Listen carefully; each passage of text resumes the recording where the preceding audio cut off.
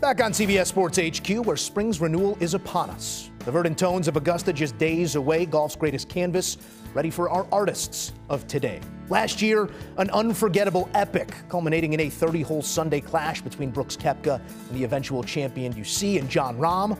Rahm now returns to defend in a far less subtle garb, but focus does remain this week on the most coveted garment in the game. As you take a look at the current odds to win the Masters, Scottie Scheffler, to no surprise, your odds on favorite, maybe to some surprise, a shorter number for a man who struggled in the early onset of this season in Rory McIlroy, then your defending champion in Jon Rahm, who, to be fair, we have not seen play much golf publicly.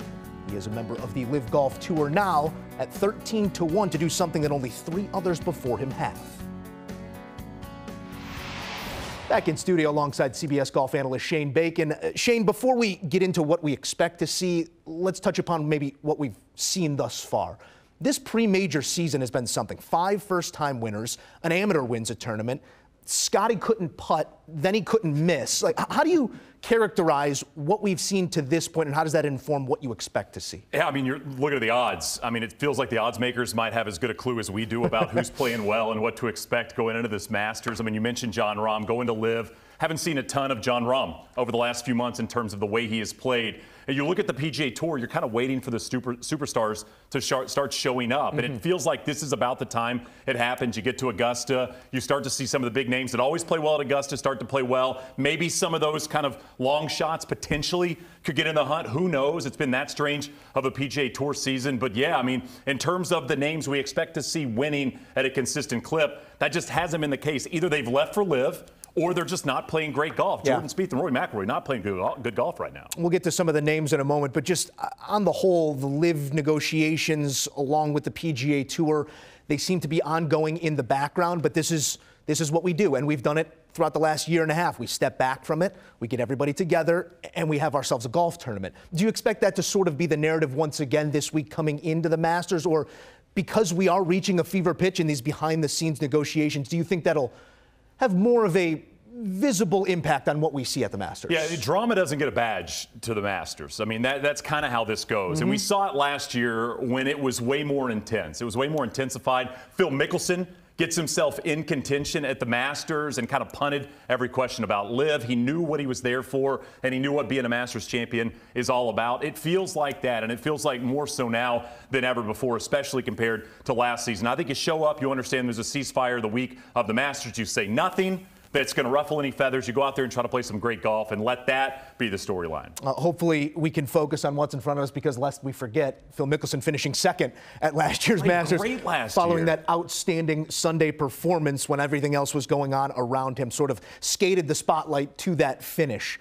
There's going to be no skating the spotlight for the defending champion. Jon Rahm, we know the menu looks great but how's the golf going to look?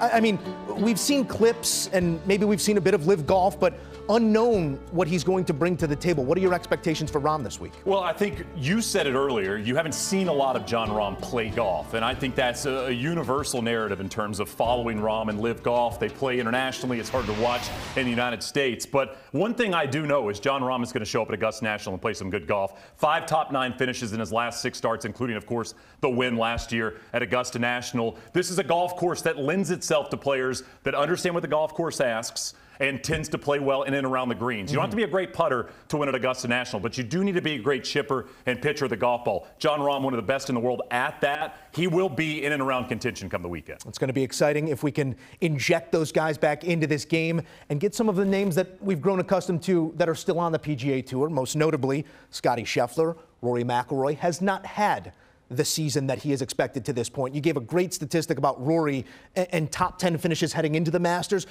he's been so forthcoming about what he needs to do, and he only has one opportunity to do it in completing that career grand slam. This is the only thing that lies in front of him. That pressure has been too much at times, or so it's appeared but it seems that this is the culmination of all his preparation. How do you expect that to unfold when he has to put it on paper, per se? Yeah, I mean, he, he's played great golf going into Masters before and not had a great result. I mean, mm-hmm. last year, I feel like Rory was headed in and everybody expected Rory McIlroy to get himself in contention and potentially win, the, win at Augusta National for the first time. And what does he do?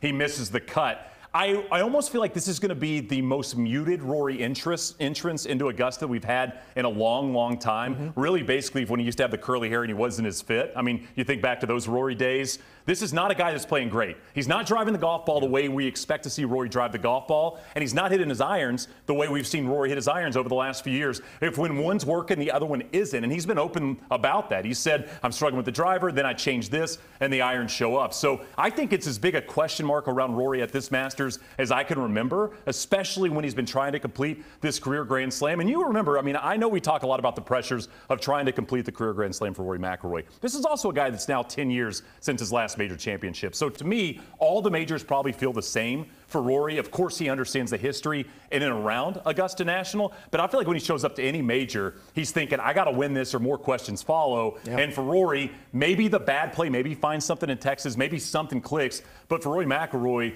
Going into it a little muted, maybe a little under the radar that we expect to see for Scottie and Rahm and Brooks might be helpful for the guy. Uh, what once seemed like a matter of time now appears to be a race against totally. it. We are hurtling towards Valhalla, which will be a decade since Valhalla. Uh, Rory McIlroy hopefully coming in on form. We will get to see him the week prior to the Masters as well at the Valero. Uh, it almost feels odd to address it, but we must the man in red yes. hopefully is going to play on the day that he wears red. We take a look at the last time we saw Tiger Woods, and unfortunately, the last number of times we've seen Tiger, it's ended in something like this. So I'm not going to ask you about expectations or what you want to see, but he is a man who sets goals for himself what makes the week a win for Tiger Woods? I think playing healthy golf, and for him, I think the weather kind of uh, somehow eventually kind of meeting him in the middle. Mm-hmm. Every time he's returned to play, it's been cold, it's been windy. That is not a good recipe for the current iteration of Tiger Woods. If he could be a little warmer and a little windier and play tougher, I think Tiger looks at Augusta National and says, I can contend here. But for Tiger, I mean, you, you think back, it has been a long time since we've seen him complete four rounds mm-hmm. of professional golf, not just major championship golf. We've seen him play good, solid rounds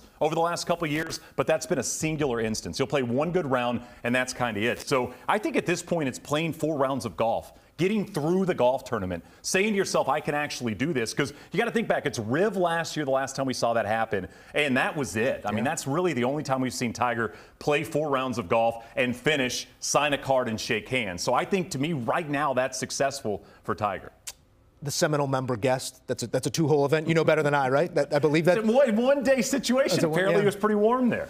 Hopefully, it will be warm. Hopefully, the playing surface will be fast. That's the only way to keep Tiger Woods, I think, in these dart fests. And we will see if we can get four days out of him as well. Shane Bacon, I hate to do it to you, but I do have to because unknown is the through line to everything we just spoke about. But I need you to know something.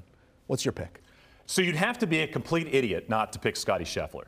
Uh, I luckily am kind of an idiot, so I'm not going to pick Scottie Scheffler. It seems easy. Okay. It seems lazy. Yeah. I like to go with somebody a little off the board for my pick for these major championships. And considering how weird a year it has been for the winners on the PGA Tour, five times we've seen a first-time winner win on the PGA Tour. I'm picking a first-time Masters winner in Jason Day. We've seen him have a lot wow. of success at the Masters Certainly. early in his career. But Jason Day's played some really solid golf over the last couple of years, especially this season. We've seen consistent golf from Jason Day, and if you look at his stats, everything has improved since last year when he got that win on the PGA Tour. So I'm just leaning into the strange mm-hmm. season we've had in 24. I feel like Scottie's going to be close and contend, but I can't pick him. I'll go Jason Day, and I'd love to see another Australian win at Augusta National. There's that great statistic of when wins come at the Masters in X number of starts. Yes. This would no doubt be on the later side, but Sergio giving hope with his Masters victory coming, I believe, in his 19th start at Augusta National. So not out of the question